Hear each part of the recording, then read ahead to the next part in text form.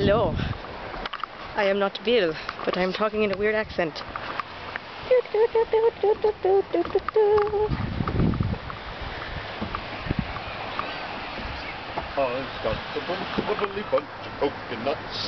Now you see where I get it from. Isn't that right, Dad? Yep. It's all your fault that I'm a nutcase.